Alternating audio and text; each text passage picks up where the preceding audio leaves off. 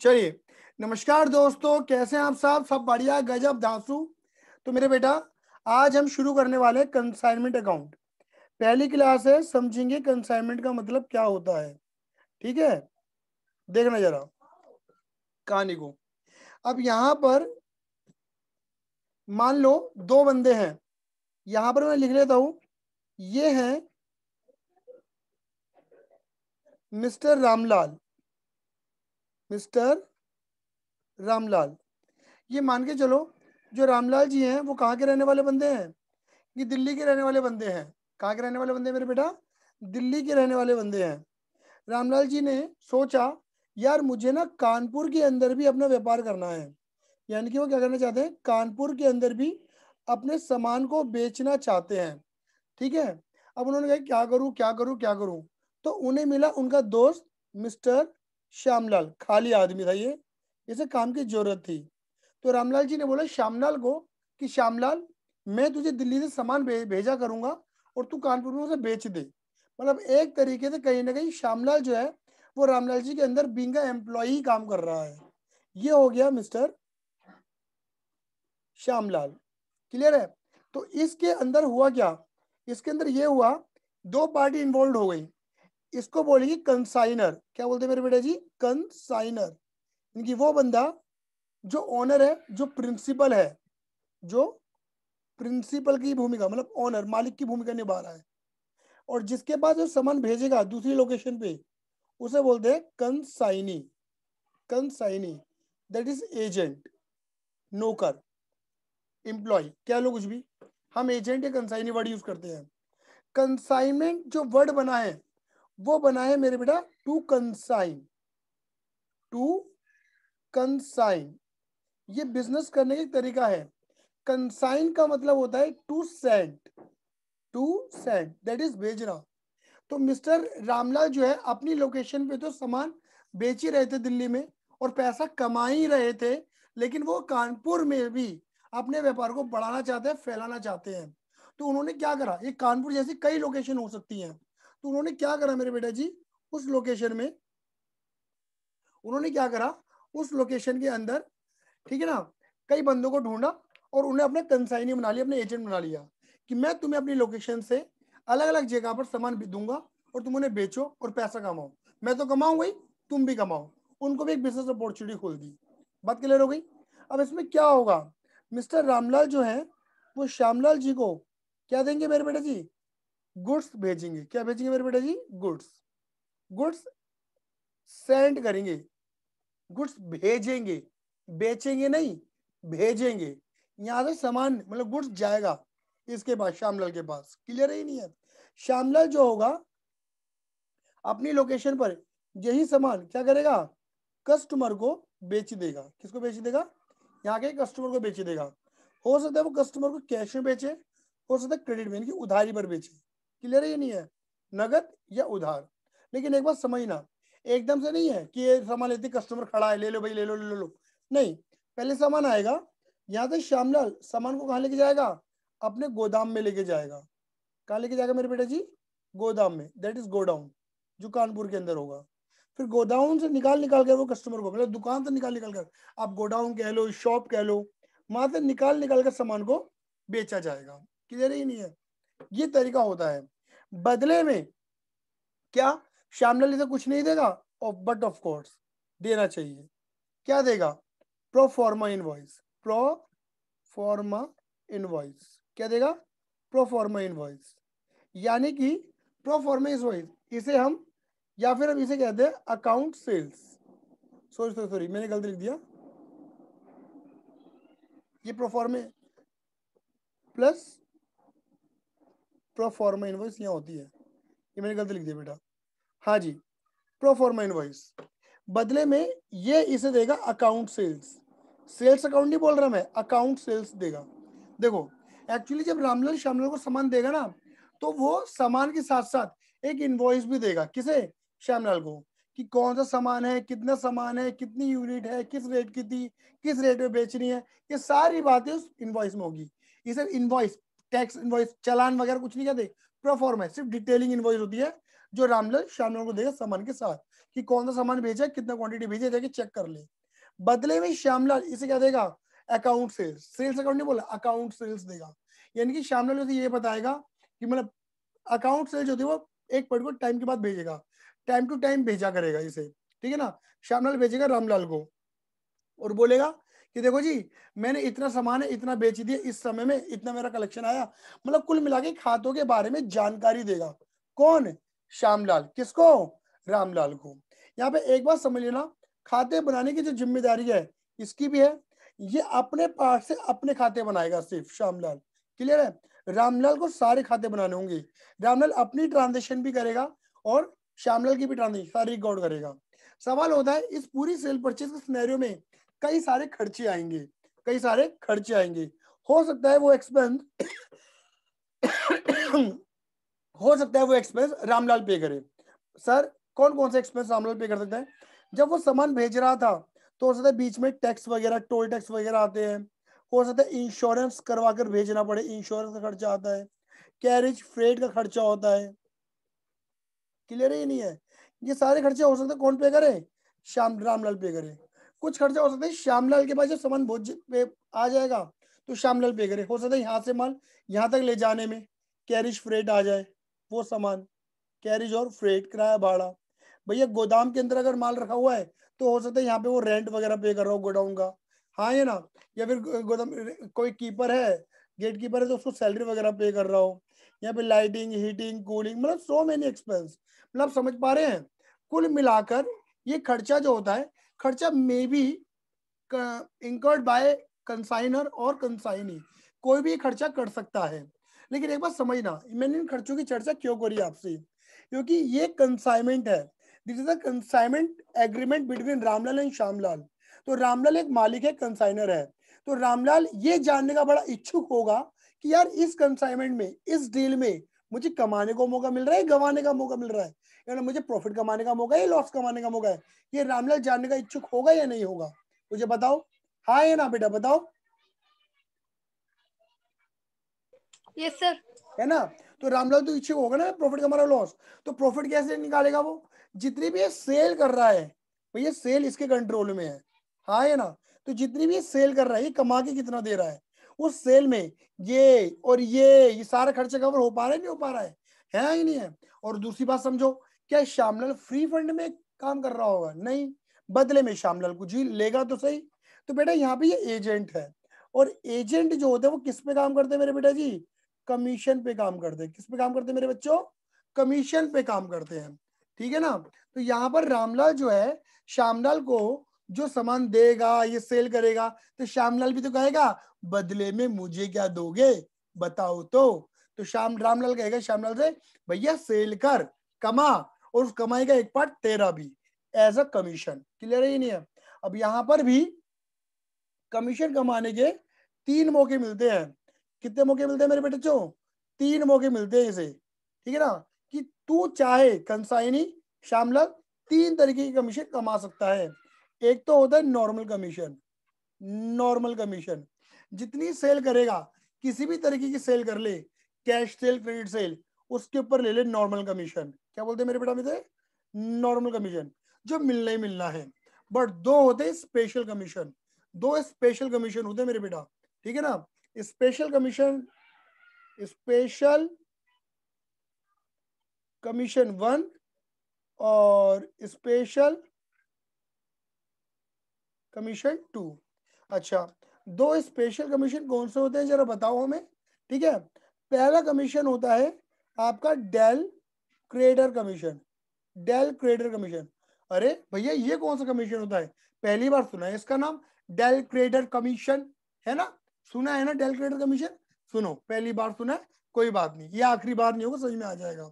मुझे इतना बताना, रामलाल तो बेचारा क्या कर रहा है? इसे गुड्स दे रहा है? भैया, तू अपनी लोकेशन पर बेच और मुझे भी कमाने का मौका दे और खुद भी कमा। लेकिन मेरे बेटा, इस बंदे के हाथ में क्या है? पूरी सेल कंट्रोल में है। बोलो आए ना। क्लियर है? इसको एक लालच रहेगा इस बंदे को। इस बंदे को एक लालच रहेगा, लालच। पता है लालच किस चीज़ का रहेगा? कमीशन का। बोलो हाँ ये ना। कमीशन का लालच इसे पागल कर देगा, बावला कर देगा। कहेगा, जितना बेचूँगा, उतना कमाऊँगा। जितना बेचूँगा, उतना कमाऊँगा। तो ये सेल पर बेचने में अपनी जान झोंक देगा बिल्कुल। और पता क्या करेगा? हो सकता है ये बंदा कैश में ना बेचे, किसे बेच दे? क्रेडिट में। अब सोचो। क्रेडिट में बेचने से कितना बड़ा बवाल मचने वाला है। कितना बड़ा बवाल मचेगा? श्यामलाल बोलेगा कि भैया क्रेडिट बेच रहा हूँ मतलब सामान, हर बंदे को कानपुर में हर बंदे को सामान बेच रहा है, कहते हैं पैसा दे देना बाद में। सामान बेच रहा है, पैसा दे देना बाद में। सामान बेच रहा है, पैसा दे देना बाद में। लेकिन सोचो सोचो सोचो बच्चों, इससे क्या हो रहा है? सेल तो बढ़ रही है। सेल बढ़ने से इसका ये वाला कमीशन तो बढ़ रहा है, इसका तो कमीशन बन रहा है। बट क्रेडिट सेल होने से हो क्या रहा है? डेटर बढ़ गए। हाँ है ना, हर बंदे से पैसे की वसूली रिकवरी करनी है। और उनमें कुछ बंदे नालायक, बदतमीज होंगे नहीं होंगे, जो पैसा लेके भाग जाएँगे बैड डेट कर जाएँगे। बैड डेट इसे तो झेलने नहीं है, ये तो एजेंट आदमी है। कौन झेलेगा? मालिक आदमी झेलेंगे। तो दिक्कत किसको होगी? रामलाल को। हाँ है ना तो रामलाल कहेगा, सुन! दिमाग लगा, थोड़ा एक्स्ट्रा पैसा ले लियो और लेकिन सोच समझ के सेल कर। क्या? डेल क्रेडिट कमीशन यानी कि क्या? बैड डेट से बचने के लिए। बैड डेट से बचने के लिए। ये वाला कमीशन आ गया। बैड डेट से बचने के लिए ये वाला कमीशन आया है। अच्छा बैड डेट से बचने के लिए हाँ। रामलाल बोले श्यामलाल से, तू एक काम कर, दस परसेंट और ले लियो सेल का। लेकिन लेकिन ये बात समझ लियो अगर एक भी रुपए का बैड डेट हुआ ना, मैं नहीं झेलूँगा, तू देगा मुझे सारा रुपया। मैं एक भी रुपए का बैड डेट नहीं झेलने वाला, तू देख। हाँ है ना? अब अब क्या होगा? अगले ठिकाने आ जाएगी शामलाल की। भैया, दस परसेंट और एक्स्ट्रा मिल रहा है मुझे तो। तो भैया, अब सोच समझ के सेल करो। क्या करो? सोच समझ के सेल करो। ए वही सेल मत कर दो। क्लियर ही नहीं है? तो मेरे बेटा, देखो टेक्निकली नॉर्मल कमीशन जो निकाला जाता है वो total commission sorry total sale के ऊपर अप्लाई होता है। टोटल सेल का मतलब ही मतलब that means sales return minus करके। बट ऑब्वियस बात है, जो सामान लोड के आगे वो सेल थोड़ी ना हुई। दैट मीन्स ये टोटल नेट सेल के ऊपर निकाला जाता है। आप ही कह सकते हो। टेक्निकली डेल क्रेडिटर कमीशन निकलना तो चाहिए किस पे? क्रेडिट सेल पे। किस पे? क्रेडिट सेल पे निकलना चाहिए। लेकिन हमारे मोस्ट ऑफ़ द क्वेश्चन में इसे भी नेट सेल पे ही अप्लाई कर देते हैं। अब क्वेश्चन जैसा बोला, वैसा कर देना। अगर क्वेश्चन बोले क्रेडिट सेल तो क्रेडिट सेल पे अप्लाई करना। क्वेश्चन बोले नेट सेल तो नेट सेल पे अप्लाई करना। कुछ ना बोले तो तुम्हारी मर्ज़ी है, वैसे प्रेफरेबल नेट सेल माना जाता है। क्लियर है? और एक होता है overriding commission overriding commission कौन सा मेरे बेटा? ओवर राइडिंग कमीशन अरे भैया, ये कौन सा कमीशन होता है? ओवर राइडिंग कमीशन थोड़ा बताओ, समझाओ, बुझाओ हमें। थोड़ा सा सिखा तो दो हमें। ठीक है ना? ओवर राइडिंग कमीशन अब ये ओवर राइडिंग कमीशन क्या कहलाता है? समझना जरा मेरी बात। हो ओवर राइडिंग कमीशन क्या होता है मेरे बच्चों? जब रामलाल, श्यामलाल को सामान देगा तो हो सकता है रामलाल बोले कि देख, ये सौ रुपए का सामान है। मुझे सौ का पड़ रहा है, तू कानपुर में डेढ़ सौ का बेच इसे। हाँ है ना? डेढ़ सौ का बेच। बाकी तेरी मर्ज़ी। लेकिन मिस्टर श्यामलाल ने क्या करा? इसी सामान को कितने बेच दिया? दो सौ में। मुझे बताना मेरे बेटा, रामलाल ने रामलाल ने रुपए कमाए। उसको तो उम्मीद डेढ़ सौ की थी ना लेकिन उसे कमाने का कितना मौका मिला? दो सौ। मतलब पचास रुपए ओवर कमा के दिए। क्या मेरी बात क्लियर हो रही है? निकिता बेटा बोलो हाँ ये ना? डेढ़ सौ थे हाँ। दो सौ रुपए कमाने का मौका मतलब दो सौ रुपए कमा के किसने दिए? श्यामलाल ने कमा के दिए। रामलाल को? बोलो हाँ ये ना? तो रामलाल की क्या रिस्पॉन्सिबिलिटी बनती है? कि देख तेरी वजह से मैंने डेढ़ सौ की जगह दो सौ कमाया पचास ज़्यादा कमाया तो तू एक काम कर ले ले और ले ले जो तूने एक्स्ट्रा कमा के दिया ना उसमें भी हिस्सेदारी ले ले। ओवर राइडिंग कमीशन यानी कि से मतलब एक तरीके से एक्स्ट्रा सेल पर। एक्स्ट्रा सेल्स प्राइस हाँ ये ना? टेक्निकली मैं यही वाली, वही वाली बात बोलूँगा। ये वाला कमीशन भी किस पे दिया जाना चाहिए? एक्स्ट्रा सेल पर, यानी कि 150 और 200 के बीच में। क्लियर है? मतलब जो डिफरेंस है, पचास रुपए उसके ऊपर दिया जाना चाहिए। लेकिन फिर भी जो क्वेश्चन बोले, जैसा बोले, वैसा कर देना। क्लियर ही नहीं है? मेरे कहने का मतलब इतना सा है। तो फ़िलहाल मैंने आपको थोड़ी सी कहानी बताई है कि रामलाल ने सामान भेजना है इसे विद प्रोफॉर्मा ये बदले में उसे अकाउंट सेल्स देगा और मैंने थोड़ी बहुत कहानी का निष्कर्ष दिया है कि आपको कंसाइनमेंट की थोड़ी सी रूपरेखा क्लियर हो गई। हाँ। चलो अब थोड़ी सी अगर रूपरेखा क्लियर हो गई है तो देखो अब कहानी को आगे बढ़ाते हैं। इसमें हम बात करने वाले हैं यहाँ पे जो हम बात करेंगे, वो बात करेंगे किसकी मेरे बेटा जी? अकाउंट प्रिपरेशन की अकाउंट्स क्लियर है? अब अकाउंट जो है मेरे बेटा, वो दोनों की बुक में बनने वाले हैं। यानी कि in the books of Ramlal consignor और एक है in the books of consignee यानी कि श्यामलाल। इसकी बुक में जो मेन सबसे ज़्यादा अकाउंट जो बनेंगे, इसकी बुक में बनेंगे, जो मेन है। इसकी बुक में मेन अकाउंट कौन सा है पहला? पहला है कंसाइनमेंट अकाउंट कौन सा है मेरे बेटा जी? कंसाइनमेंट अकाउंट ये अकाउंट किस लिए होता है? To find profit oblique loss इसका नेचर नॉमिनल का होता है। मेन अकाउंट ये है। दूसरा बनता है कंसाइनी का।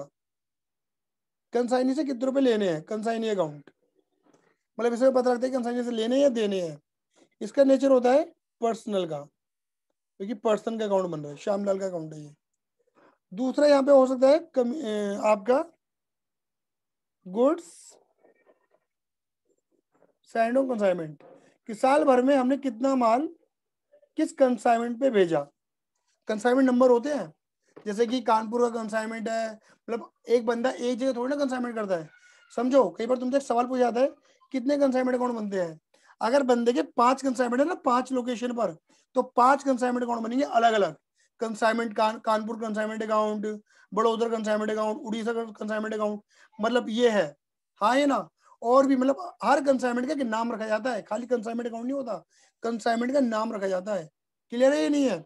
गुड साइड कंसाइनमेंट और ये भी अलग अलग बनते हैं कि फलाना किस कंसाइनमेंट में कितना माल भेजे गए पूरे साल भर में। ये देखा जाता है। एक अभी अकाउंट आएगा, आप सीखोगे। स्टॉक रिज़र्व अकाउंट क्लियर है ये नहीं है?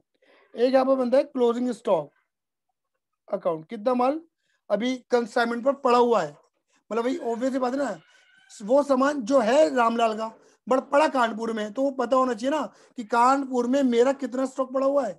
वहाँ का, ये सारी बातें होती है। तो ये क्या है? ये होता है रियल क्योंकि एसेट होती है। ये भी क्या होता है? ये पर्सनल होता है, क्योंकि ये लाइबिलिटी का पार्ट बना जाता है। ठीक है ना? ये नॉमिनल होता है। गुड सेंड कंसाइनमेंट क्लियर है? यहाँ पे मेन अकाउंट तो ये है, जबकि इसकी बुक में कौन से अकाउंट मेन होंगे? ये बनाएगा किसका? कंसाइनर का अकाउंट क्योंकि कंसाइनर कंसाइनी का बना रहा है। तो कंसाइनर का बनाएगा कि मुझे रुपए लेने हैं, देने हैं, पहला। और दूसरा, इसका मेन अकाउंट होता है कंसाइनमेंट कमीशन अकाउंट कि मेरा कितना कमीशन बनता है नेट खाली कमीशन का ओनली कमीशन क्लियर है? ये कंसाइनर अकाउंट इसके मेन अकाउंट ये है। जो मैं मेन आज आपसे चर्चा करूँगा, वो चर्चा करूँगा इसकी, क्योंकि मेन अकाउंट इसमें जो है ना वो ये है, अगर तुम्हें इसका गणित क्लियर होता है ना मेरे बेटा तो तुम्हें सारा गणित क्लियर हो जाएगा, इस बात की मेरी गारंटी है। सारा गणित ए टू जेड तो अपने लिमिटेड टाइम में आज हम कंसाइनमेंट अकाउंट को कवर अप करते हैं। ठीक है? समझने का मेरे बेटा प्रयास करना। बाकी अकाउंट बनते रहेंगे, आराम आराम से, वही बना लेंगे। पहले कंसाइनमेंट की बात करेंगे मेरे बेटा हम। किसकी बात करेंगे? कंसाइनमेंट अकाउंट की। देखो कंसाइनमेंट अकाउंट इसका फॉर्मेट समझने in the books of consignor ये एक पीएनएल प्रॉफिट लॉस को फाइंड करता है। इसका नेचर नॉमिनल का होता है। ये बात तो मैं आपको पहले ही बता चुका था कि जिस अकाउंट से तुम प्रॉफिट लॉस फाइंड करो, उसका नेचर ही नॉमिनल हो जाता है। क्योंकि प्रॉफिट लॉस नॉमिनल को ही रिप्रेजेंट करते हैं। पर्टिकुलर अमाउंट पर्टिकुलर अमाउंट ये लिख लेना। अब देखो। सबसे पहले क्या ड्रामा शुरू होगा यहाँ पर? देखो जी, यहाँ पर तुम्हें करना क्या है कुल मिलाकर? देखो, जितने भी खर्चे हो रहे हैं, वो सब डेबिट में, जैसे पीएम में डेबिट करते हो, जितनी भी इनकम हो रही है, सारी क्रेडिट में। बोलो हाँ ना। हो सकता है टू बैलेंस बीडी इसे हम बोलते हैं ओपनिंग बैलेंसेस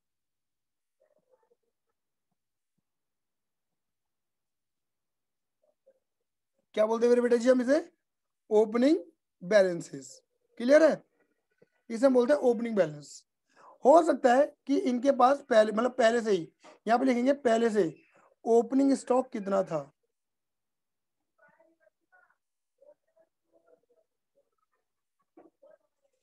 ओपनिंग स्टॉक पहले से ओपनिंग स्टॉक कितना था? बात क्लियर हो गई? जैसे ट्रेडिंग में लिखता है ओपनिंग स्टॉक वही लिखा है मैंने। ठीक है? फिर लिखो to goods sent on consignment. हमने और कितना माल भेजा? देखो, तुम एक काम करो कि कंसाइनमेंट अकाउंट है। तुम कंसाइनी बन के काम करो, ठीक है ना?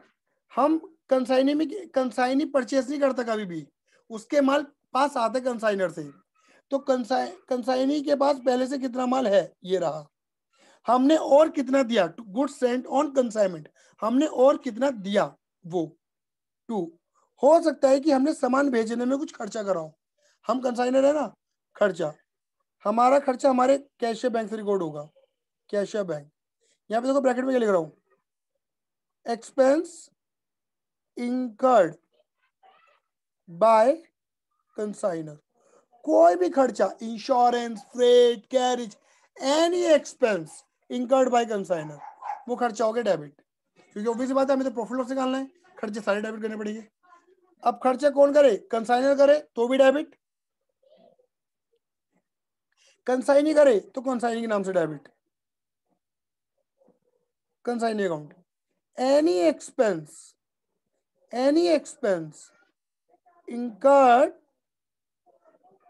by consignee कोई भी खर्चा कंसाइनी करे, कोई भी एनीथिंग कभी भी करे वो। मतलब इस कहानी को समझ लो मेरे बेटा जी। कोई भी खर्चा, देखो, ये देखो। खर्चा इस बीच में करे कंसाइनी कंसाइनर ये यहाँ करे। कोई भी खर्चा हो और कोई भी कर रहा हो। अगर कंसाइनर कर रहा है तो कैशिया बैंक के नाम से। क्योंकि ये जो बुक बन रही है, ये in the books of consignor बन रही है। तो कंसाइनर अपनी बुक में अपने नाम तो लिखने वाला है नहीं। तो अपना खर्चा तो कैशियर बैंक के नाम से दिखाएगा। कि भैया मैंने खर्चा मेरे पास से पैसा गया, बोले कंसाइनर की में सपोज़ कंसाइनर ने इंश्योरेंस पे करा तो consignor insurance account debit to cash नहीं करेगा। कंसाइनर बोलेगा, ये खर्चा कंसाइनमेंट का है। तो consignment account debit to cash consignment debit to cash जो भी खर्चा वो कंसाइनमेंट के लिए कर रहा है कंसाइनमेंट अकाउंट के अंदर डेबिट करता रहेगा वो। क्योंकि कंसाइनमेंट का खर्चा कंसाइनमेंट देखेगा। ये मालिक मतलब एक तरीके से एज वो कंसाइनर अपनी पर्सनल जेब से देखने वाला नहीं है। कंसाइनमेंट से निकालेगा। बोलो हाँ ये ना। एक एग्ज़ाम्पल की बात करता हूँ मेरे बेटा। दिमाग लगाना मेरे बेटा। अगर मैं यहाँ से सपोज़ इंदिरापुरम पढ़ाने जाता हूँ तो दैट मीन मानो मेरा कंसाइनमेंट है इंदिरापुरम में। हाँ ये ना? तो मैं हमेशा ये ज़रूर सोचूँगा कि मैं यहाँ से वहाँ तक जा रहा हूँ वहाँ से वहाँ तक जाने मेरी जो कॉस्ट आ रही है क्या मैं उस कॉस्ट को कवर कर पा रहा हूँ? वहाँ से इतना कमा रहा हूँ कि मेरी कॉस्ट कवर हो रही है। अगर मेरी कॉस्ट कवर हो रही है तो, तो मैं वहाँ जाऊँगा। और नहीं हो रही तो नहीं क्यों जाऊँगा लेकिन वहाँ, यहाँ से वहाँ तक खर्चा अपनी जेब से थोड़ी ना फेस करूँगा मैं ये वही वाला पॉइंट है यहाँ पर भी। क्लियर है? अब यहाँ पर क्या हुआ? सारे खर्चे। डेबिट अच्छा फिर एक बार और डेबिट करो कंसाइनी अकाउंट आपके डेबिट करो? कंसाइनी अकाउंट हो सकता क्योंकि कंसाइनी को खर्चा देना है हमें। किस बात का? कमीशन का। कोई भी खर्चा हो, क्या होगा? डेबिट होगा। अगर नॉर्मल कमीशन है तो वो भी जो जो हो, ज़रूरी तीनों ही कमीशन हो। जो जो अलाउड है कैलकुलेटर है तो भी।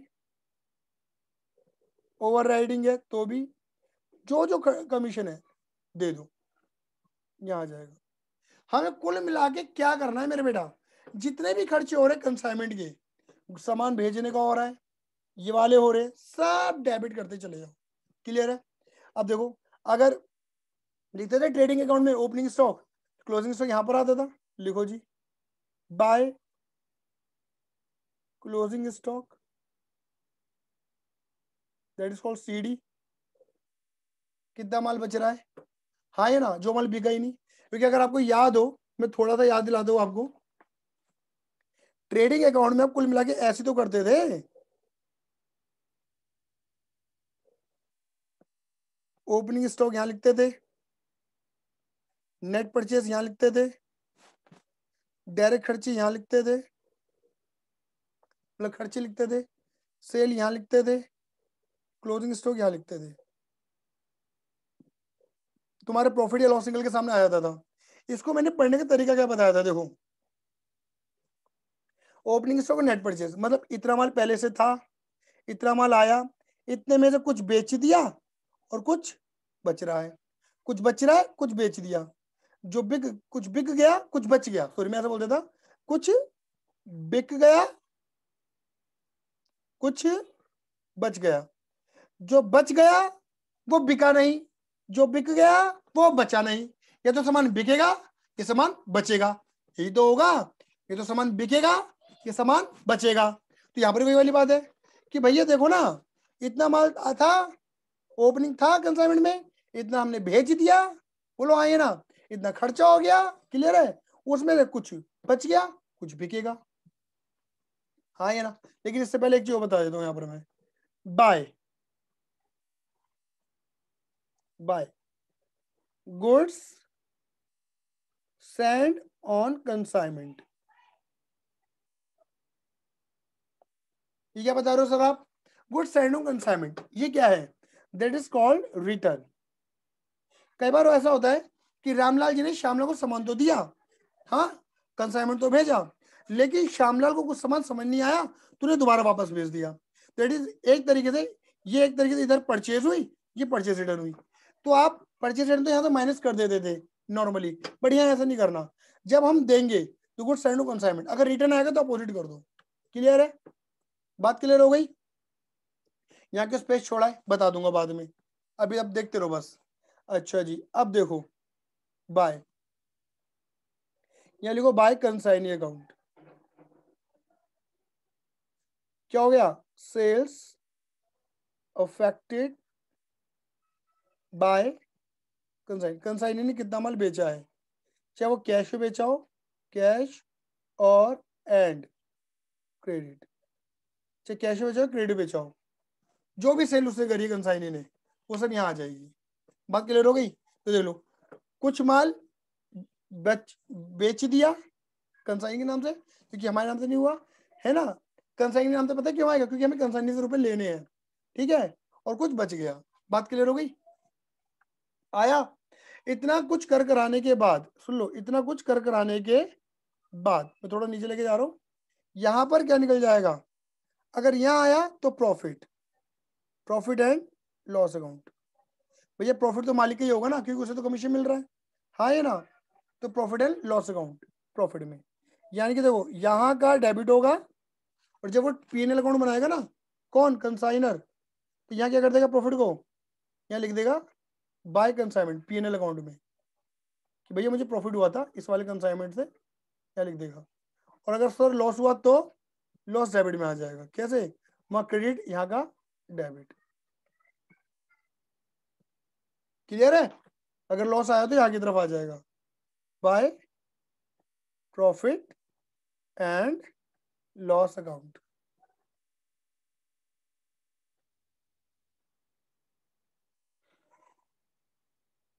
जल्दी बोलो आया ही नहीं आया? दीदी इतना आया? हाँ आ गया। ठीक है। अब इसमें थोड़ा सा और तड़का लगाते हैं। सर और भी तड़के हैं? बिल्कुल। यहाँ पर एक छोटा सा छोटा सा तगड़ा बोल रहा हूँ मैं। तड़का आएगा किसका? नॉर्मल लॉस का और एबनॉर्मल लॉस का। किसका तड़का आएगा मेरे बच्चे? नॉर्मल लॉस का और एबनॉर्मल लॉस का। सर, जल्दी से बताओ फिर हमें ये। क्या तड़का है? ये छोटी छोटी बात है, जिनसे रिलेटेड क्वेश्चन आते भी हैं और क्या कहते हैं एमसी के अंदर भी क्वेश्चन आ जाते हैं। देखो जी।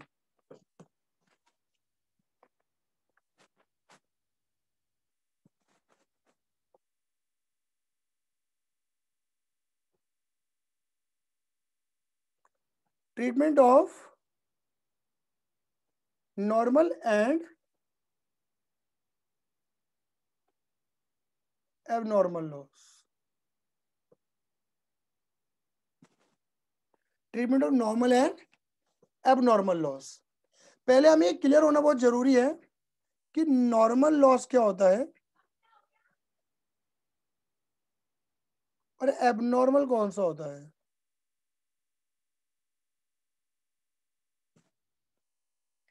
इन्हें आप कहते हो अनअवॉइडेबल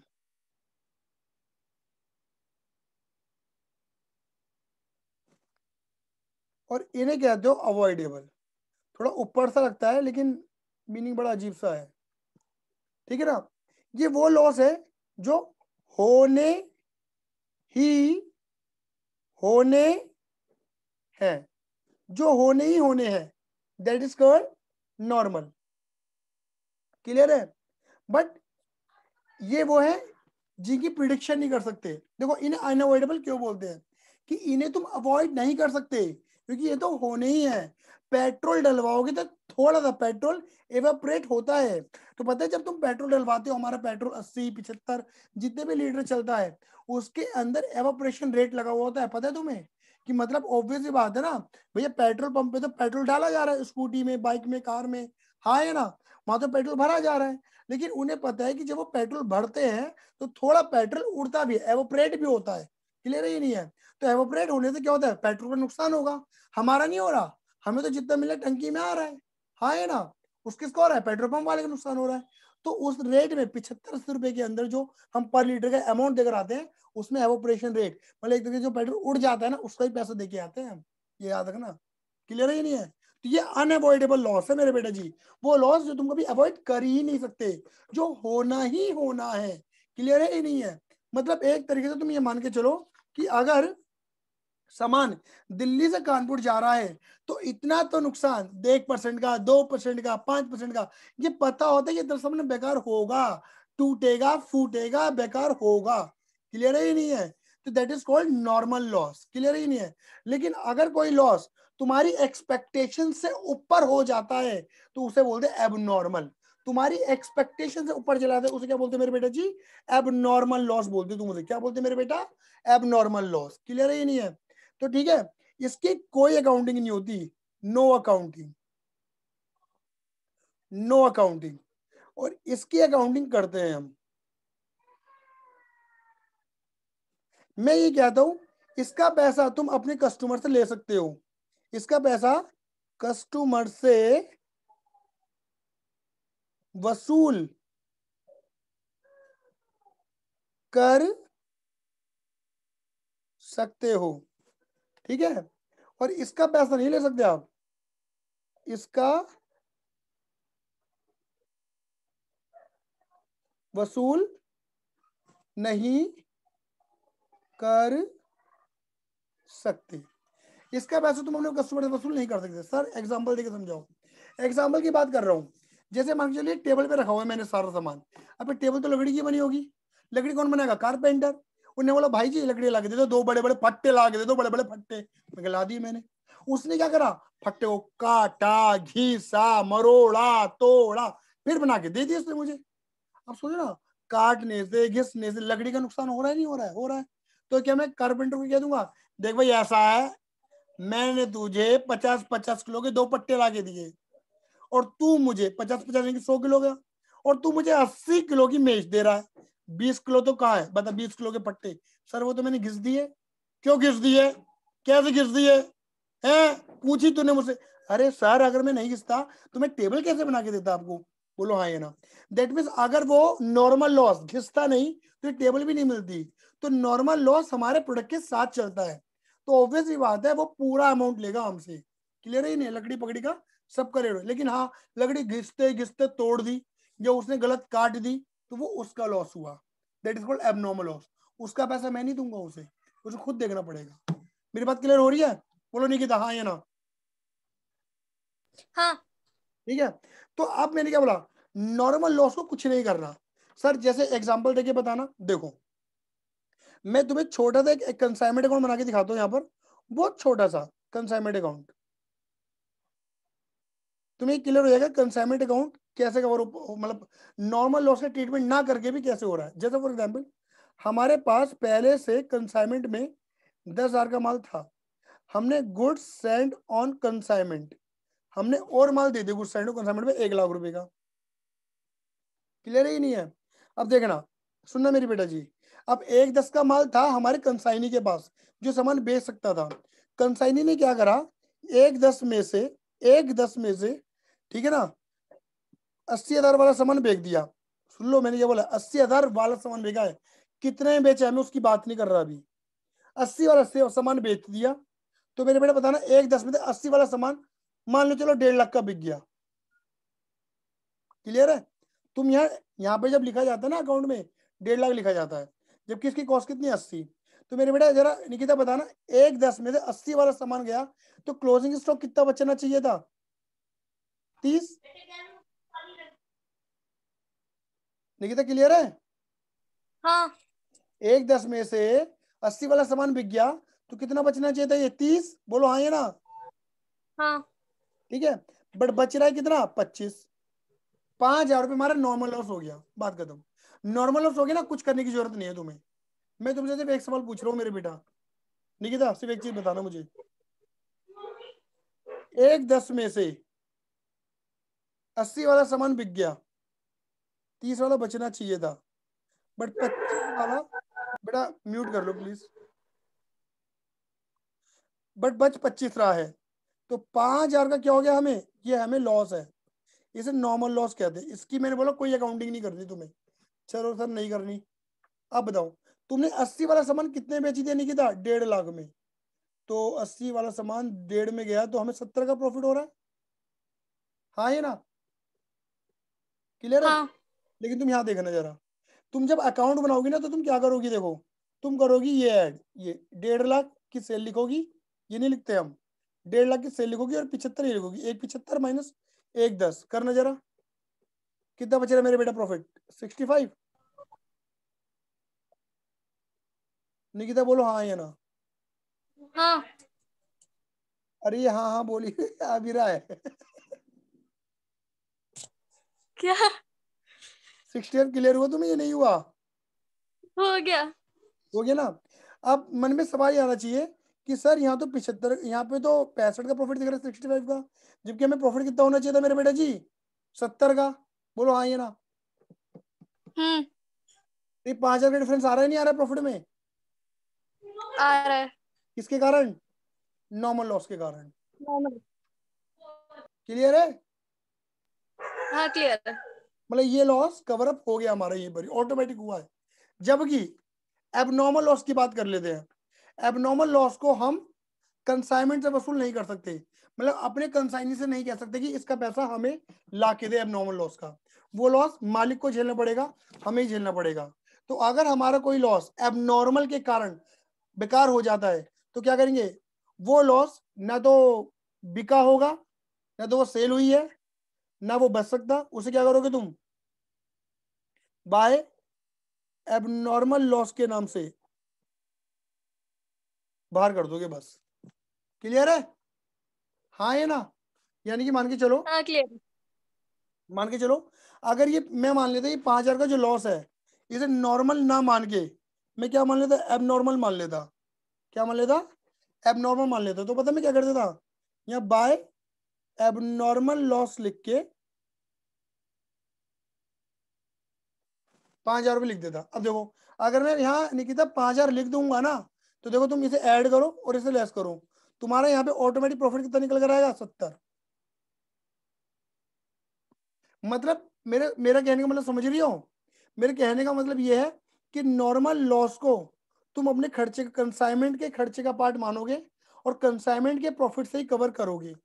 जबकि एबनॉर्मल को तुम कंसाइनमेंट के खर्चे का पार्ट नहीं मानोगे कंसाइनमेंट से वसूल नहीं करोगे उसे तुम्हें खुद ही फेस करना पड़ेगा मतलब मालिक को कंसाइनर को। जो बात मैंने बोली कि तुम्हें क्लियर हुई है मेरे बेटा? फटाफट बताओ। हो गई। फिर भी मेरे बेटा अगर आपको दिक्कत परेशानी है तो double nine five three two four seven N five one में मुझे व्हाट्सअप करें ठीक है ना? और अपने डाउटों को क्लियर करें। ठीक है? तो ये हुआ हमारा एबनॉर्मल लॉस सर, अभी इसमें और भी कुछ बाकी है? जी हाँ अभी तो बहुत कुछ बाकी है। बस एक लास्ट पॉइंट इसके अंदर बाकी है। और कोई, और और कुछ गिवन नहीं है मेरे बेटा जी। और कुछ भी पॉइंट गिवन नहीं, सिर्फ़ एक लास्ट पॉइंट इसके अंदर बाकी है। सर, बताओ जल्दी, सर, आप इसको भी खत्म करो फिर। क्या है? लगे हाथों से भी लपेट दो फिर। देखो देखो मेरे बेटा, जो ये रामलाल है ना जब ये श्यामलाल को सामान देगा। तो ये दो तरीके से गुड्स बेच सकता है। या तो ये जो गुड्स दे रहा है या, तो ये देगा एट कॉस्ट या ये देगा एट इनवॉइस एट कॉस्ट या एट इनवॉइस इनवॉइस को आप कहते हो सेलिंग प्राइस वगैरह भी कह सकते हो। एट कॉस्ट ये एट इनवॉइस अब आप कहोगे सर ये एट कॉस्ट एट इनवॉइस देखो मैंने ये वाला जो खाता बनाया है ना ये वाला ये एट कॉस्ट पर है पूरा का पूरा। सारा कॉस्ट पे है ये। ठीक है ना? ये पूरा हो चुका कॉस्ट के अकॉर्डिंग लेकिन सर एट इनवॉइस का मतलब बताना, देखो, समझना। कई बार क्या होता है, दोनों बातें हैं। कई बार क्या होता है, रामलाल कहता है कि देख भाई, श्यामलाल, मुझे ये सामान सौ रुपए का पड़ रहा है। तेरी लोकेशन तक आते आते ये एक सौ दस का हो जाएगा सारा खर्चा लगा के। अब तू इसे एक सौ पचास का बेच सुनना मेरी बात। सुनना मेरी बात तरीके से। रामलाल कह रहा है, श्यामलाल से कि देख भाई, श्यामलाल ये सामान मुझे दिल्ली में सौ रुपए का पड़ रहा है। खर्चा वर्चा सब कुछ लगा लोगे तेरी लोकेशन तक जब ये माल आएगा, इनमें खर्चे वर्चे ऐड कर तो एक सौ दस का हो जाएगा। तू उसे डेढ़ सौ का बेचियो इसमें क्या है? इसमें श्यामलाल को एक चीज़ क्लियर हो रही है। क्या? उसे रामलाल का प्रॉफिट क्लियर हो रहा है कि रामलाल कितना कमा रहा है। चालीस रुपया कमा रहा है, चालीस रुपया। क्योंकि ऑब्वियसली बात है ना 110 की कॉस्ट के अंदर ना रामलाल ने कमीशन भी लगा दिया होगा एक तरीके से मान के चलो आप टेक्निकली क्लियर ही नहीं है? तो श्यामलाल को क्या पता लग गया? प्रॉफिट पता लग गया। आ, मुझे तो दे रहा है इन्नू शाह और खुद कमा रहा है इन्ना शाह है ना? ज़्यादा। तो इसमें क्या है? श्यामलाल की बुद्धि को बांधने के लिए रामलाल ने बात घुमा दी। रामलाल ने यही नहीं बताया कि मुझे सामान कितने का पड़ रहा है। बोलो हाँ ये ना। क्या कोई अपनी कॉस्ट बताता है? बताओ बेटा। नहीं। नहीं बताता ना एग्ज़ाम्पल की बात करते हैं। एग्ज़ाम्पल की बात कर ले बहुत बेसिक एग्ज़ाम्पल है अदरवाइज़ मत लेना। जैसे अगर आपके पापा जो है गाड़ी ठीक करते हैं अब मैंने क्लच प्लेट डलवाई थी भैया से है ना? और भैया ने क्लच प्लेट डाली थी चार हज़ार रुपए की। मुझे थोड़ी ना पता क्लच प्लेट कितने की आती है। हो सकता है साढ़े तीन की आए हो सकता है अड़तीस सौ की है दैट मीन्स मुझे नहीं पता कि क्लच प्लेट में भैया ने कमाया है या नहीं कमाया है। हाँ ये ना? मुझे कॉस्ट के बारे में नहीं पता। ना मैंने मार्केट में जाके पता करा। क्लियर है या नहीं है? तो दैट मीन्स कोई अपनी कॉस्ट नहीं बताता। आप इसी को समझ के चलना। तो यहाँ पर यही वाली बात आती है यहाँ पर भी। अब रामलाल ने क्या कर कहानी घुमा दी? रामलाल ने ये नहीं बोला कि मुझे सामान सौ का है, तेरी लोकेशन पे एक सौ दस का हो जाएगा, तू डेढ़ सौ का बेच। रामलाल ने सीधा बोला, क्या? तू डेढ़ सौ का बेचेगा। बात खत्म। मैं ये सामान दे रहा हूँ तू डेढ़ सौ का बेच। देख लो पूरी पीछे की कहानी खत्म कर दी उसने। आया नहीं आया समझ में? आया। इनकी रामलाल कह रहा है कि भैया कुछ भी हो मुझे कितने का पड़े? तुझे मतलब है? नहीं ना। मैं मैं डेढ़ सौ का लाऊ मैं देखूँगा। तो रामलाल ने क्या करा? या तो वो सामान ना यहाँ पर प्रोफार्मा इनवॉइस में सौ रुपए का कह के देगा इसे और खर्चे वर्चे अलग बता देगा। मतलब बहुत ज़्यादा ट्रांसपेरेंट हो जाएगा। क्लियर है नहीं है? या फिर रामलाल क्या बोलेगा कि देख भाई ऐसा है, सो प्लस पच प्लस पचास, ऐसे करके डेढ़ सौ का देगा। मतलब एक तरीके से इसमें क्या हो रहा है? वो अपना यहाँ पे मार्जिन डिक्लेयर कर रहा है कि ये और ये ऐड कर। यहाँ पर क्या है? सीधा रामलाल प्रोफार्म इनवर्स में कितने का बोल रहा है? सिर्फ़ डेढ़ सौ दिखा रहा है। ये वाली फिगर दिखा ही नहीं रहा वो। क्या मेरी बात क्लियर हो रही है? हाँ। यानी कि क्या कर रहा है? रामलाल, या तो कॉस्ट पे दे रहा है सामान को, सौ रुपए में दे रहा है, और फिर बोल रहा है मार्जिन कितना ऐड कर। या फिर रामलाल क्या कर रहा है? सीधा डेढ़ सौ रुपए मतलब एक तरीके से अपना मार्जिन ऐड करके उसे दे रहा है। और कह रहे हैं कि भैया देख, डेढ़ सौ का तो बेग नहीं है, बाकी ऊपर का तू देख ले। अब डेढ़ सौ का बेग नहीं है, अब डेढ़ सौ में रामलाल को कितने का पड़ रहा है? श्यामलाल कभी नहीं निकाल पाएगा कि रामलाल को वो सामान कितने का पड़ रहा है। उसे ऑब्वियस बात है दिमाग, माथा पच्ची करनी पड़ेगी पड़ेगी। क्या मेरी बात क्लियर हो रही है? जल्दी बताओ बेटा हाँ या ना? हाँ हो रही है। अब यानी कि क्या सीखा हमने? यानी कि हमने ये सीख लिया कि रामलाल जो है वो क्या कर रहा है? रामलाल ने जितना भी स्टॉक दे रखा होगा देखो जहाँ जहाँ पे स्टॉक है स्टॉक है गुड्स जहाँ जहाँ पे भी ये ये और ये जितना भी स्टॉक है हर स्टॉक में रामलाल ने क्या कर रखा होगा? कॉस्ट और क्लॉस के अंदर क्या ऐड कर रखा होगा? प्रॉफिट यहाँ पर प्रॉफिट का वर्ड लगाया जाता है इन लोडिंग प्रॉफिट का क्या बोलते हैं मेरे बेटा जी? लोडिंग बोलते हैं लोडिंग हर जगह रामलाल ने कॉस्ट प्लस लोडिंग ऐड कर रखी होगी।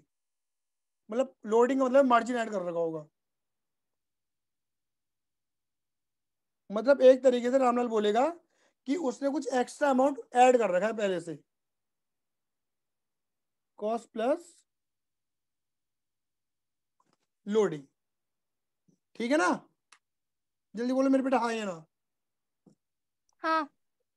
मैं इसको और थोड़ा सा तरीके से क्लियर कर देता हूँ आपको इधर देखो। हमने बोला ना एट इनवॉइस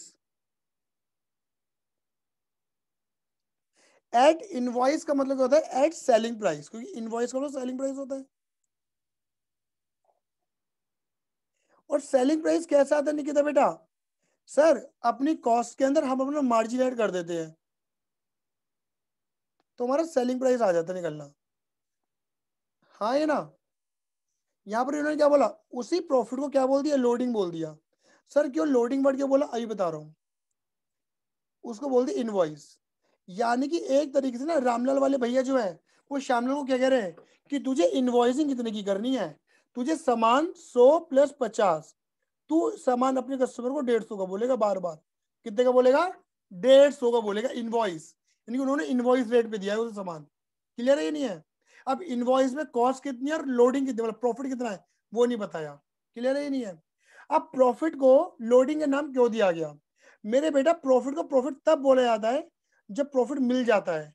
मुझे इतना बताना मेरे बच्चों, जब रामलाल, श्यामलाल को सामान देगा कॉस्ट के अंदर लोडिंग ऐड करके तो क्या उसे प्रॉफिट मिल चुका होगा? बोलो नहीं किता जब रामलाल श्यामलाल को सामान देगा कॉस्ट के अंदर कॉस्ट के अंदर प्रॉफिट यानी कि लोडिंग ऐड करके तो क्या उसे प्रॉफिट मिल जाएगा क्या? नहीं ना। रामलाल को प्रॉफिट कब मिलेगा? जो वही श्यामलाल अपने कस्टमर को सामान बेच देगा। बोलो हाँ ये ना। तब जाके वो प्रॉफिट रियलाइज़ होगा। क्लियर है ये नहीं है? तब वो हाँ। लोडिंग तब वो लोडिंग जब रामलाल बेच श्यामलाल बेच देगा ना तो वो लोडिंग ऑटोमेटिक प्रॉफिट में अपने आप कन्वर्ट हो जाएगी, तुम्हें पता भी नहीं चलेगा। तो इसीलिए अनरियलाइज प्रॉफिट की वजह से, क्योंकि वो प्रॉफिट रियलाइज़ नहीं हुआ है अनरियलाइज है। अनरियलाइज की वजह से हमने बोला गया कि ये एक्स्ट्रा बर्डन है हमारे स्टॉक पे that is called load loading clear है? कि जब तक प्रॉफिट अनरियलाइज है, मिल नहीं रहा, उसे नाम दो लोडिंग जब वो मिल जाएगा तो वो ऑटोमेटिकली क्या बन जाएगा मेरे बेटा जी? एक्चुअल प्रॉफिट बन जाएगा और तुम्हें पता भी नहीं चलेगा और सीधे नीचे चमकता हुआ नज़र आएगा अकाउंट के नीचे पीएनएल के नाम से, जो भी हमने निकाला था, देखो ये रहा। यह नज़र आता रहेगा। ठीक है? अब देखो, अब इससे होता क्या है? ये तो क्लियर हो गया? अब इसमें होता क्या है? अब इतना करने से हमने क्या करा? अकाउंट में उल्लंघन कर दिया। अकाउंट कहता है प्रूडेंस प्रिंसिपल कहता है कि जब तक प्रॉफिट मिल ना जाए, मैं तो बच्चों को ऐसा बोलता हूँ, जब तक खुशियाँ आ ना जाए खुशियाँ मनानी नहीं चाहिए। बोलो आए ना? खुशियाँ मत बनाओ जब तक मिल ना जाए वो खुशियाँ, तुम्हारे गले ना आ जाए खुशियाँ। बोलो आए ना? क्लियर ही नहीं है? तो जब तक प्रॉफिट मिल नहीं जाता, कमा नहीं लेते, तुम प्रॉफिट रिकॉर्ड नहीं कर सकते। लेकिन सर, हमने करा क्या है? जब रामलाल ने श्यामलाल को सामान दिया तो रामलाल ने अपने खातों में उसे प्रॉफिट मान के ऐड कर दिया, पहली। लोडिंग कह के ऐड कर दिया। तो इससे क्या हुआ? अकाउंट के नियमों का उल्लंघन हुआ या नहीं हुआ निकिता? बोलो। हुआ। हुआ। तो इसलिए कहते क्या है? अब उल्लंघन हो गया अब उल्लंघन को भैया संभालना है। तो क्या करो?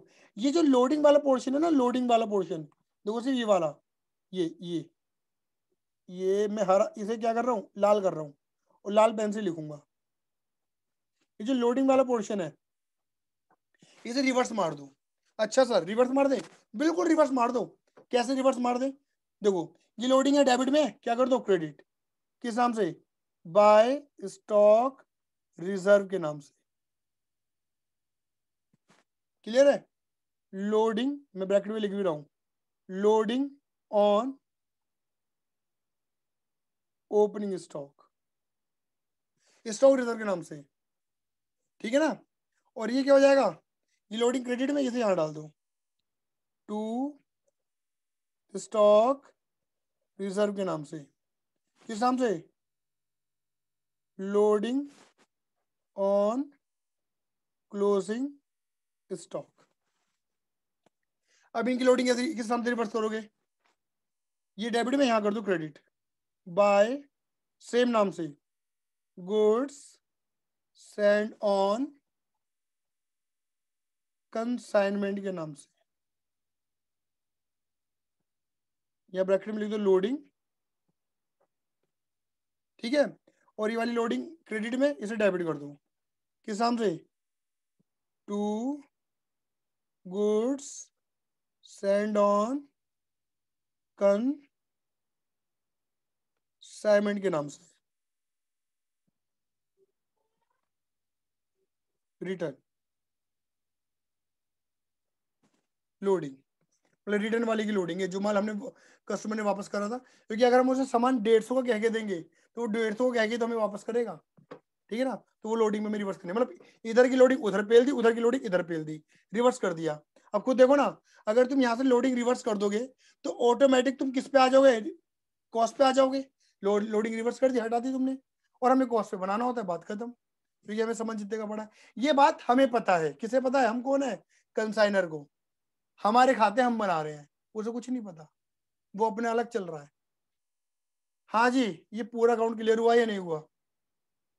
हो गया। हो गया ना? अब देखो।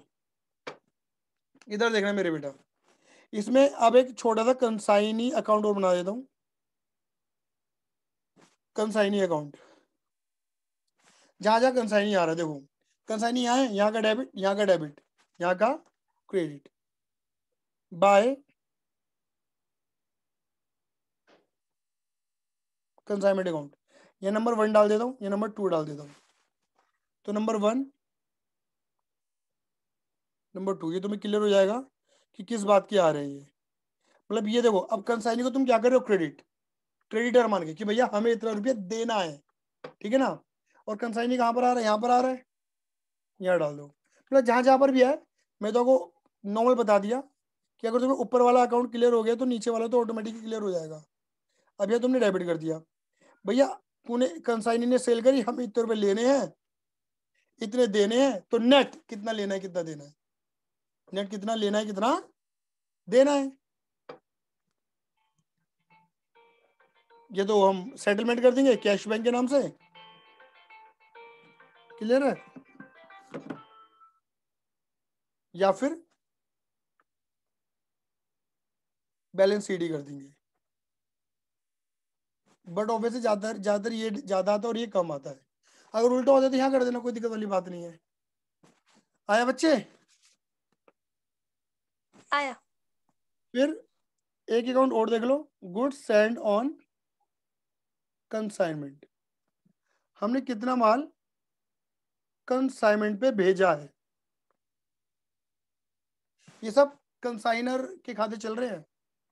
तो देखो यहाँ का डेबिट देखो जहाँ जहाँ पर भी गुड सेंड होना है, ये ये तीन नंबर हो गए ना, तीन नंबर तक पहुँची, इसे चार नंबर दे दो, चार नंबर चार नंबर सॉरी चार नंबर कह रहा हूँ, इसे पाँच दो, पाँच का ये हो जाएगा तुम्हारा छः, और ये जाएगा तुम्हारा सात डेबिट का क्रेडिट क्रेडिट का डेबिट कर देना जरा।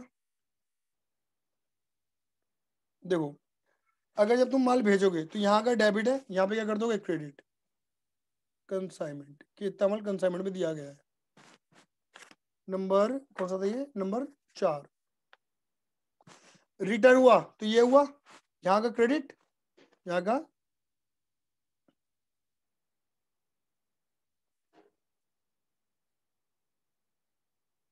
डेबिट उसके बाद क्या हुआ?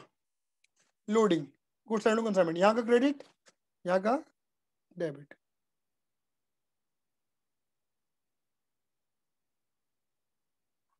देखो, ये बता रहा हूँ।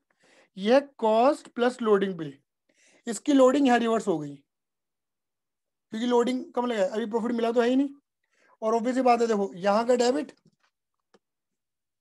यहाँ का डेबिट यहाँ का क्रेडिट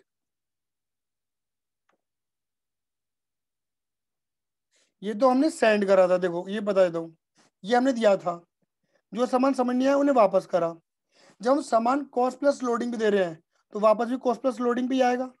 तो लोडिंग इसकी रिवर्स यहाँ हो रही तो इसकी रिवर्स यहाँ करनी पड़ेगी। इसे नंबर सात दे रखा है शायद।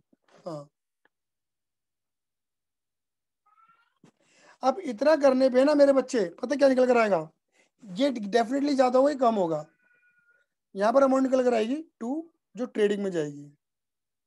किसका ट्रेडिंग अकाउंट ट्रेडिंग पीएल बनाता है कंसाइनर नंबर आठ, जो भी होगा। अब देखो, यहाँ का डेबिट ट्रेडिंग में कर देता है, डेबिट। ट्रेडिंग में डेबिट कर दो।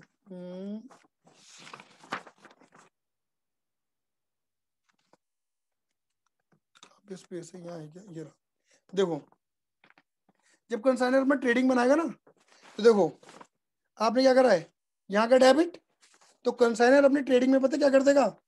क्रेडिट कर देगा। पता किस नाम से? By, goods, send on consignment अब देखो, तुम कंसाइनर बन के सोचो कंसाइनर क्या बोल रहा होगा? कंसाइनर ये बोलेगा, क्या बोलेगा? कंसाइनर ये बोलेगा कि भैया, इतना माल तो कंसाइनर पे टोटल आया था। टोटल जो कंसाइनर ने था, इतना कंसाइनर की परचेज हो गई। कंसाइनर बोलेगा, इतना तो मैंने अपनी लोकेशन में बेच दिया, दिल्ली में। इतना मैंने भेज दिया, इतना बेच दिया, इतना बेच दिया, इतना भेज दिया, कानपुर। इतना मेरे पास बच रहा है। ये वो स्टॉक है जो उसके पास दिल्ली में बच रहा है दिल्ली में। जिसके पास दिल्ली में बच रहा है। कानपुर वाला स्टॉक यहाँ नहीं आएगा। क्लियर है? आई बात समझ में नहीं आई? आई। और एक बात और बताऊँ? जब यही बंदा ना अपनी बैलेंस शीट बनाएगा तो वो क्लोजिंग स्टॉक अकाउंट बना लेगा देख के। कि भैया मेरा कानपुर में कितना क्लोजिंग स्टॉक है? तो अपनी बैलेंस शीट में वो सारा क्लोजिंग स्टॉक दिखाएगा कि कितना क्लोजिंग स्टॉक मेरे पे है, कितना मेरे बाहर वाले कंसाइनमेंट पे है और उसमें से, पता है, क्योंकि देखो, जो उसके पास होगा, वो तो कॉस्ट पे होगा क्लोजिंग स्टॉक और जो क्लोजिंग स्टॉक उसके कंसाइनी के पास होगा, वो कॉस्ट प्लस लोडिंग पे होगा। क्या मेरी बात क्लियर हो रही है बच्चे? देखो, ये क्लोजिंग स्टॉक होगा ना, उसके पास कॉस्ट प्लस लोडिंग पर होगा तो उसमें से क्या करेगा वो? स्टॉक रिज़र्व को माइनस कर देगा। क्योंकि स्टॉक रिज़र्व किसको रिप्रेजेंट कर रहा है? लोडिंग को। मतलब कोई तुमसे पूछे स्टॉक रिज़र्व का मतलब क्या होता है? तो आप बोलोगे, अगर हमने अपने क्लोजिंग स्टॉक के अंदर कुछ extra amount profit loading add कर रखी है तो लोडिंग को रिप्रेजेंट करने वाला जो अकाउंट है, उसे बोलते हैं स्टॉक रिज़र्व स्टॉक रिज़र्व बताते हैं कि हमारे क्लोजिंग स्टॉक के अंदर या हमारे स्टॉक के अंदर कितना माल एक्स्ट्रा घुसा हुआ है, कितना अमाउंट एक्स्ट्रा घुसा हुआ है। वो माइनस कर दोगे ना लोडिंग तो देखो cost cost plus loading loading loading हटा दो। तो ऑटोमेटिक जो है बैलेंस शीट में नज़र आएगी वो क्या नज़र आएगी हमारी? कॉस्ट नज़र आएगी। बच्चे आया या नहीं आया? आया। बस मेरे बेटा यही अकाउंट है मेनली ठीक है? बाकी तो चुटर पुटर है कुछ भी नहीं है। तो मेरे बच्चे आज के लिए धन्यवाद। Tata bye see you love you जय हिंद जय भारत।